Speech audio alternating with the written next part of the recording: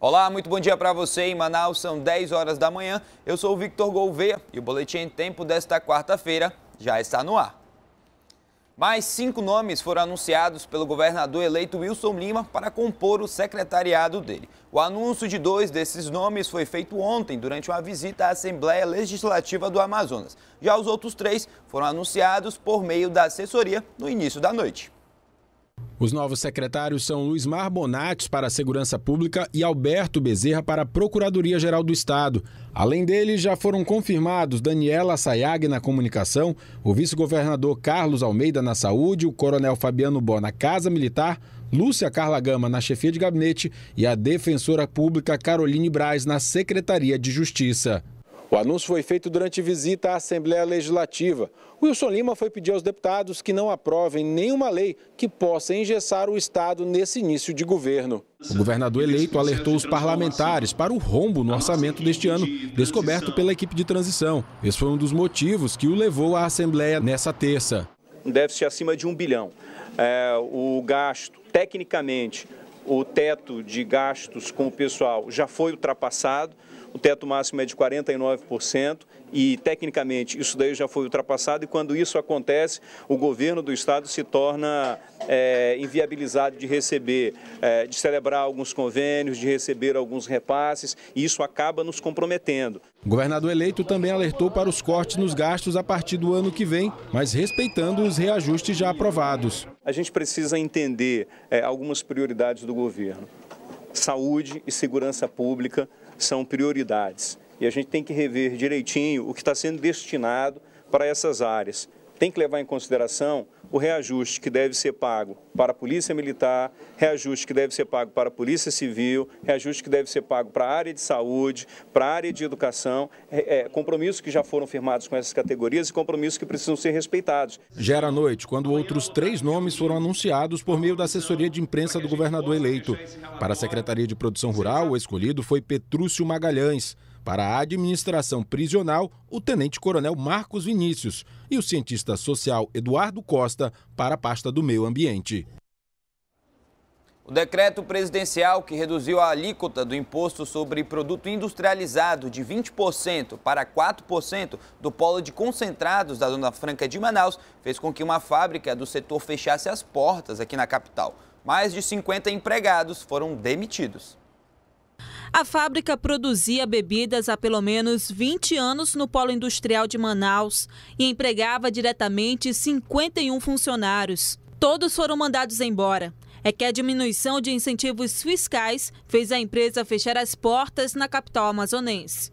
A redução na alíquota de 20% para 4% do IPI, que é um imposto sobre produtos industrializados, assinado pelo presidente Michel Temer em maio deste ano, pode ter sido motivo para o fechamento da indústria, segundo a FIEAM. De acordo com o vice-presidente da Federação das Indústrias do Estado do Amazonas, os funcionários diretamente ligados à empresa não foram os únicos afetados. Fornecedores locais são inclusive os produtores é, os agricultores, que, da, incluindo da, da, agricultura familiar, no interior do Estado, que isso é exatamente o que a gente pede tanto, que cheguem os, os efeitos aqui da, gerados na Zona Franca de Manaus, do polo industrial de Manaus, chegue para o interior do Estado. Isso que a gente defende muito. Parlamentares amazonenses se mostram preocupados com a manutenção do polo industrial de Manaus. Isso pode resultar no efeito cascata que vai ser muito ruim.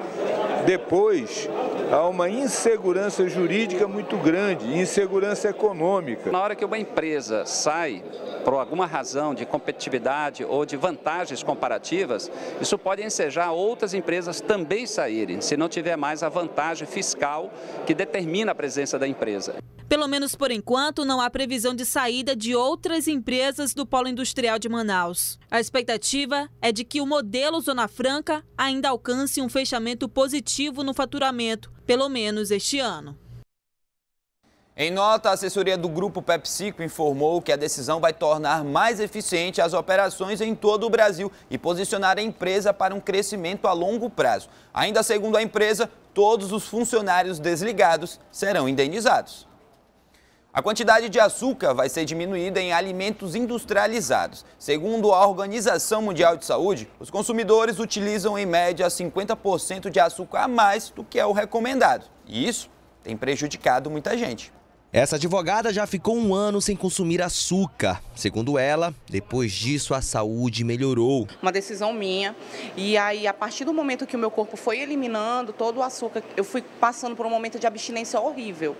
Mas logo o corpo começou a, a, a reagir e eu parei de sentir essa necessidade do açúcar. Esta analista de sistema está grávida e não teve uma alimentação adequada. Algumas complicações vieram por causa do consumo excessivo de açúcar, mas na reta final da gravidez, ela procurou uma nutricionista e a vida mudou.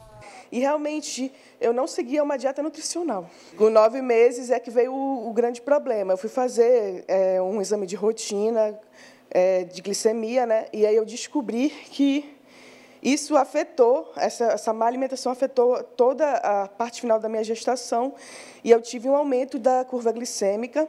O governo brasileiro fechou um acordo com as indústrias para diminuir a quantidade de açúcar em produtos industrializados. A meta é reduzir em 144 mil toneladas o consumo do país até 2022, com foco em bebidas, biscoitos, achocolatados, bolos e misturas. O monitoramento dessa redução vai ser feito pela Anvisa a cada dois anos. De acordo com o Ministério da Saúde, o brasileiro consome cerca de 80 gramas de açúcar por dia, ou seja, 18 colheres de chá, 50% a mais do que o recomendado. Especialistas afirmam que o açúcar em excesso impacta no aumento das doenças crônicas não transmissíveis. O excesso do, da ingesta, né, do consumo de açúcar, causando uma diabetes na pessoa, é ela que leva essas principais complicações. Aumenta risco cardiovascular, de infarto, de derrame. Na última década, o diabetes cresceu 54% nos homens e 28,5% nas mulheres. Quanto à obesidade, a condição clínica cresceu em mais de 60%. Principalmente aqueles pacientes que já têm alguém na família diabético ou algum risco né, de, de apresentar a doença, já começar a diminuir bastante a ingesta de açúcar, com certeza. Já foi divulgado o resultado do vestibular e do sistema de ingresso seriado da UEA. Mais de 5 mil vagas foram ofertadas na capital e também no interior. E, claro, muita euforia por parte dos aprovados. A angústia era tanta que parecia que a hora não passava. O Gabriel e a Marcele fizeram vestibular para o curso mais concorrido da instituição, Medicina. São tantos anos de dedicação ao vestibular assim que tu fica pensando se tu vai ou não passar. Desde ontem eu não consigo dormir direito por conta de hoje. Aí a gente vem cedo justamente para esperar o resultado.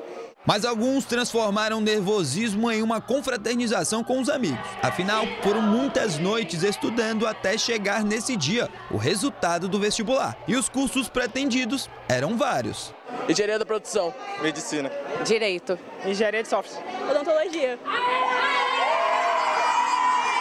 Neste ano, 5.337 vagas estão sendo ofertadas no vestibular e no CIS, tanto aqui na capital como também no interior. E no mundo digital que vivemos hoje, a UEA continuou mantendo o seu ritual de divulgar primeiro o resultado na lista grudada na parede. Isso aqui é um momento de muita alegria para a vestibulanda, para o vestibulando, mas sobretudo também para as suas famílias, para as pessoas que estão em casa, as pessoas que estão também aqui torcendo e que vêm aqui ver a lista. E o tão esperado momento chegou. O painel com os nomes dos aprovados foi colocado na parede. Aí começou a correria. Teve gente que chorou quando viu seu nome na lista, mas também tiveram aqueles que ficaram tristes por não terem sido aprovados. O Eduardo encontrou o nome do filho no painel e comemorou. E muito orgulho desse paizão que trabalhou tanto, que lutou tanto, que ele se dedicou tanto nos momentos que os outros estavam na festa, ele estava estudando e aí ele mereceu. O Gabriel e a Marcele, que concorreram para a medicina, infelizmente não passaram. E lembram desse rapaz lá do começo da matéria que disse que queria passar para direito? Pois é, o nome dele é Sócrates e ele conseguiu a aprovação. Parabéns aos aprovados e aos que não passaram. Ano que vem tem mais. O resultado completo está disponível no site da universidade www.uea.edu.br. E nesta terça-feira foi realizada em um shopping da Zona Sul de Manaus a oitava edição do Prêmio Amazonense de Propaganda e Marketing. E olha, não faltaram homenagens aos valores da nossa terra. Uma noite memorável para o mercado publicitário e marqueteiro. A oitava edição do Prêmio Amazonense de Propaganda e Marketing foi realizada no salão desta unidade de compras, na zona sul da capital. Desde 2010, nós realizamos o prêmio com o intuito de reconhecer a publicidade amazonense. Aqui na região norte, é, reconhecer a ética, a ousadia, o avanço que tem o, o meio publicitário aqui da região norte. O evento fez homenagens aos melhores profissionais da região norte, em diversas categorias da comunicação. Zaira é quase a garota propaganda do prêmio. Apresentou seis das oito edições que me deixa muito feliz, porque é um encontro não só de é, reencontrar, todo mundo se reencontra, então pode trocar experiências e faz, é, instiga cada vez mais o anunciante a estar tá, é, investindo, né? E também as agências de publicidade estarem aí também é, com, colocando suas peças para concorrer. Quer dizer, aqui vira um palco dos melhores do ano, vão estar tá aqui. Né? E este ano teve novidade. As agências de marketing e publicidade puderam ser avaliadas pelos próprios consumidores. Nesse evento, são valorizados o cliente, quando ele diz quem ele lembra, pelo Top of Mind, as agências que inscrevem suas peças e os é, anunciantes, que são aqueles que são é, premiados pelo Top of Mind. A premiação reconhece os valores dos profissionais que atuam no mercado do Estado. E o que é mais importante, estimula para que mais pessoas integrem o hall de talentos do Amazonas. E aos amantes da culinária, um evento acontece desde ontem em uma faculdade lá na Zona Centro-Sul aqui de Manaus. E nomes renomados participam do evento. Aqui tem delícias e ideias, aulas show e feira de negócios em uma estrutura de cozinha.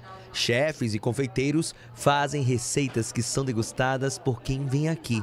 Desde 2010, a Arena Show Gastronômica reúne apaixonados pela arte culinária. Nessa edição, a gente abriu não só para o segmento de gastronomia, mas a gente também está tendo um bazar, é dezembro, né? E a gente está movimentando o mercado não apenas gastronômico, né? Mas de outros segmentos também. Quem está aprendendo a fazer uma receita e no intervalo estiver passeando, pode ir até um bazar e fazer uma compra. Grandes nomes da culinária estão por aqui, como por exemplo a criadora da pasta brasileira Edna Smith. A expectativa, segundo a organização, é receber de 3 a 4 mil pessoas. Nós somos pioneiros, é o maior evento que uma instituição de ensino superior promove aqui em Manaus, com o objetivo principal de trocar experiências entre pessoas de fora do estado e as pessoas que estão aqui na nossa cidade e enriquecer cada vez mais a gastronomia do Amazonas. A Arena Show Gastronômica vai até quinta-feira, das 2 da tarde até as 9 da noite, na Faculdade Uninassal, localizada na Djalma Batista, no bairro Chapada. A entrada, basta só você doar um litro de leite, que será destinado aos abrigos Lar Batista Janel Dolly. Vale a pena conferir, hein? E olha, daqui a pouquinho tem o programa da comunidade, o Agora, com ela, Márcia Lasmar, que já deve estar aqui no estúdio do programa. Cadê ela? Está aqui, apareceu agora. Bom dia, Márcia. Conta pra gente aí quais são os destaques do programa de hoje.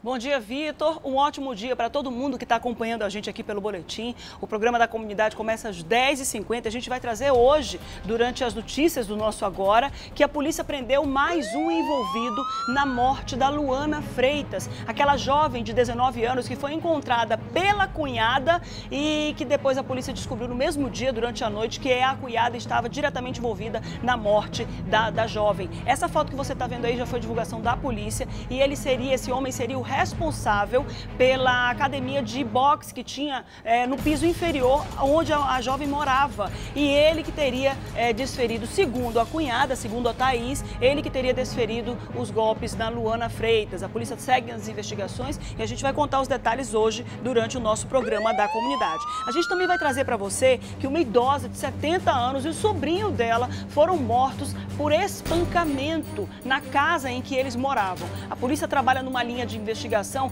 que já é, direciona ali para um possível latrocínio, que é aquele roubo seguido de morte. Não se sabe ainda quem são os autores ou quem é o autor desse, dessa fatalidade, mas é provável que seja mais de uma pessoa, já que os dois foram mortos por espancamento o jovem teria força ali para lutar contra o agressor e de repente defender a tia, mas mais uma vez a gente traz aí notícias de um crime brutal, que é o crime desses dois, dessas duas pessoas, né? A gente vai trazer para você que está aí do outro lado também que a polícia prendeu em flagrante o responsável por assaltar o carro de um proprietário de aplicativo.